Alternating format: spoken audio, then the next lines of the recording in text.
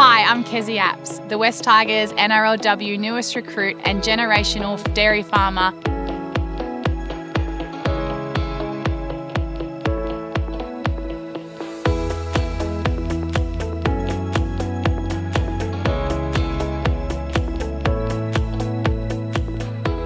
For those out there who are looking at stepping into the dairy industry, I highly recommend you doing it and giving it a go. There's so much more to the dairy industry than just milking cows.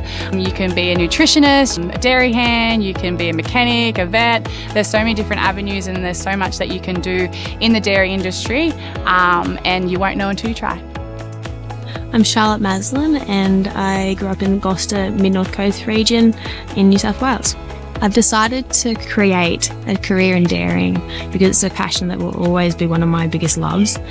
Uh, to follow my family through and for a farm that they've worked so hard for, I'd definitely like to become a service provider for them and other people in the industry.